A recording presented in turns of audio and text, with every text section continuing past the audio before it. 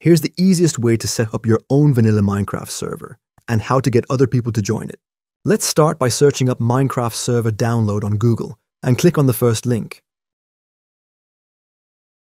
Here on this page, you'll be able to download the server jar for the latest version of Minecraft. You can download it by clicking on this bit of text right here. Once your download is done, create a new folder anywhere on your PC.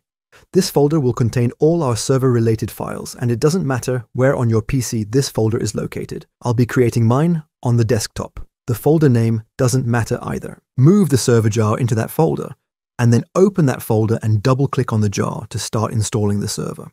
It might seem like nothing is happening, but give it like 30 to 40 seconds, and you'll see all these folders and files start filling up our main folder. Everything is complete when you notice this EULA text file show up.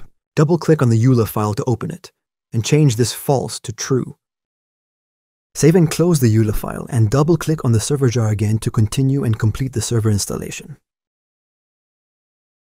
When you see this thing show up, it means that your server is actively running.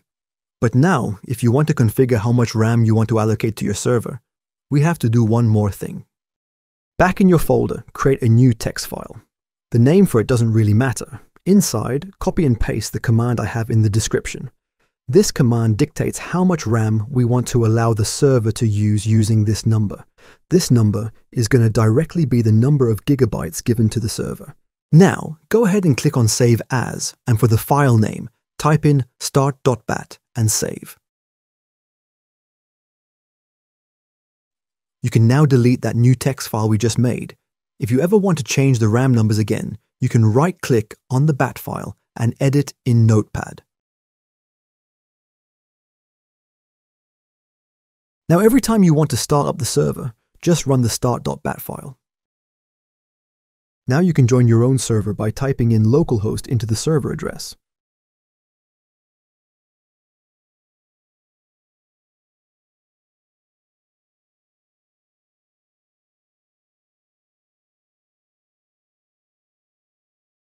The next step is to allow our server through our firewall, and this step is very, very easy. In the description, I'll have four commands. Go ahead and copy all of them together. Open Windows Search and type in PowerShell. Open it as administrator. Now just press Ctrl plus V or click on the right mouse button to paste in the commands.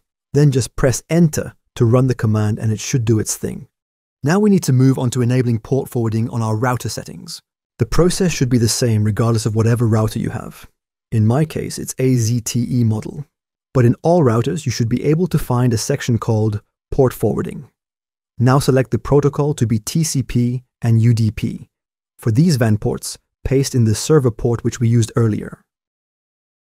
Now we need to fill in this LAN host IP address. To do that, open your start and search up CMD and run it as administrator. Now type in ipconfig and press enter. This IPv4 address is the one we need.